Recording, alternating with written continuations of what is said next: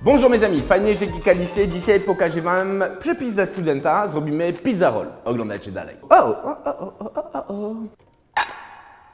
Pytaliście, żebym wam pokazał prosty przepis dla studenta. Pomyślałem, że pokażę wam inną formę na pizzę. Zrobimy pizza roll.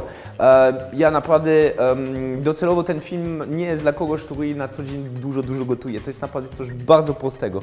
E, pokażę wam jedną formę pizzy roll, ale oczywiście możecie ją zamienić dowolne. E, ja zrobię tak, że zrobię mięsną dzisiaj. Potrzebuję tylko pokroić jedną cebulę. Zrobię takie piórki, właśnie cebulki. I zamykamy oczy i kroimy bardzo drobną cebulę. Jest to bardzo istotne, żeby mieć naprawdę oczy zamknięte. Jak widzisz, nie jest to za grube ani za cienkie. Uuu, końcówka. Cebula jest pokrojona. Posłuchaj, że to jest przypis dla studenta, to stwierdziłem, że e, pójdę na łatwiznę, kupiłem ciasto do pizzy. Wiem. Stwierdziłem, że będę się stawiał tak jak student. Jeśli chcesz zrobić twojego ciasta na pizzę, kliknij tu. Właśnie tutaj masz ekspresowe ciasto na pizzę, które będzie idealne do tego przepisu. Ja dzisiaj chciałem Ci pokazać, że ja od czasu do czasu właśnie, jak mam szybki aperitif do zrobienia, to właśnie kupuję też takiego ciasta. Tylko pamiętajcie, że jeśli kupujecie produkt gotowy, to sprawdźcie skład. Mamy ciasto do pizzy. Ja tutaj mam jeszcze troszeczkę pasata domowa. Jeśli nie masz pasata domowa, to po prostu kupuj taką małą butelkę. Bierzemy sos. I bardzo istotnie, pamiętaj o tym, żeby nie dodawać za dużo. Dlatego, że jak dodajemy za dużo, to po prostu ta wilgoć naszego sosu spowoduje, że naszego ciasto będzie taki mokre, on niedobrze będzie się piekło. Dobrze, wszędzie mamy sos. Kupiłem, przyznaję Ci się, e, ser od razu tarty. Tutaj mam trzy rodzajów sera. Mam mozzarellę, mam emmentaler i mam jeszcze parmigiano reggiano. Dodajemy sporo sera. Ser będzie też ten element słony, w związku z tym będę doprawiał, ale nie za dużo.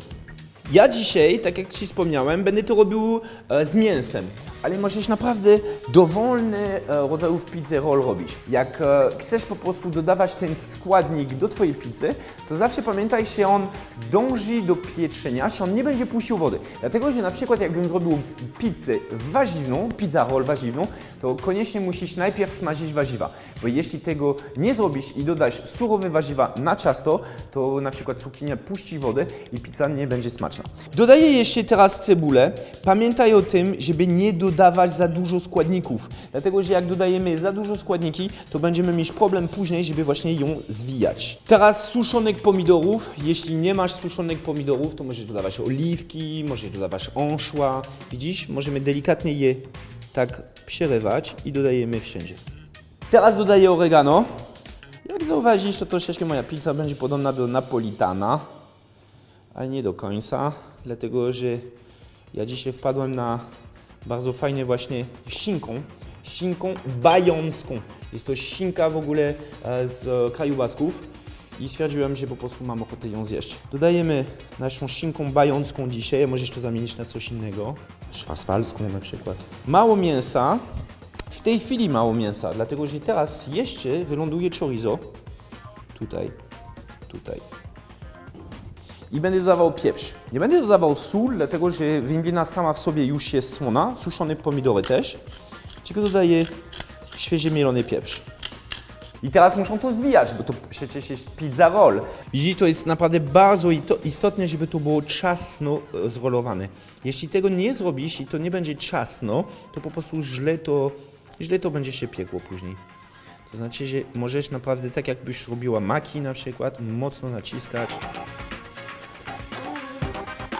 No i teraz, jeśli bardzo się śpieszysz, możesz delikatnie to pokroić na takie krążki, około powiedzmy 3 do 5 cm właśnie grubości. Ja Ciebie polecam je wkładać do lodówki. Do lodówki lub do zamrażarnika na jakieś 5 minut. Wtedy ciasto do pizzy znowu zacznie po prostu się robić bardziej twardawe i wiele łatwiej będzie później kroić całość. Czyli to wyląduje teraz na 5 minut do zamrażarnika. 5 minut minęło, wyciągałem ją z zamrażarnika i tak, będziemy ją odrolować. Przyznajcie się, że zapomniałem dodawać bazylię. Miałem dodawać bazylię, ale zapomniałem. Ale to nie jest problem, e, bo w kuchni można wszystko uratować. Po prostu po pieczeniu będę to dodawał troszeczkę na wierzchu. I teraz musimy, co jest fajne w ogóle, jak kupujesz właśnie takie ciasto e, gotowe, to ten papier to jest od razu papier per- pergaminowy, czyli delikatny Odkleimy, położymy papier od razu. Kolejny fajny trik właśnie dla studenta. Po co kupować? Kolejną rolkę.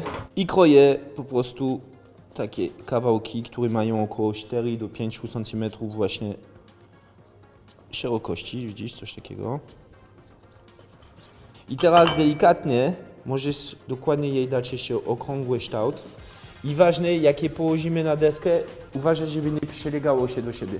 Musi być około powiedzmy 5 cm w ogóle między właśnie kawałki e, pizza roll, bo ona urośnie. I jak ona urośnie i będą za blisko do siebie, to po prostu e, będą się kleić do siebie i nie urośnie wtedy ładne. I teraz to wyląduje do gorącego pieca, temperatura 220 stopni, termobieg na jakieś 15-20 minut. Dokładnie 15 minut piekłe się, wyciągałem je z pieca. Troszeczkę bazylii. No i próbuję. Mm. Czujemy mięsa, czujemy naszą fajną pasatę. Możesz zawsze sobie przygotować takie małe sosy, na przykład ja tutaj mam troszeczkę harissy. Można pomieszać harissy na przykład z majonezem, można pomieszać ketchup z majonezem, można zrobić sos czosnkowy i wystarczy tylko delikatnie dodawać do sosu. Mm, koniecznie zrób ten przepis w domu. Napisz mi, jestem ciekawy na dole, czy wolisz, żebym Ci pokazał więcej takie prostych przepisów typu pizzę, czy wolisz, żebym na przykład Ci pokazał mój przepis na zapiekankę, albo na przykład inny krok monsieur. Zasubskrybuj kanał, jak jeszcze tego nie zrobiłeś i zajrzyj na mój profil instagramowy, bo tam pokazuję różnych przepisów, których tutaj nie zobaczysz. Życzę Ci bon appétit, bon appetito, smacznego, do zobaczenia. Cześć, pa! Więcej przepis na przekąskę, kliknij tu.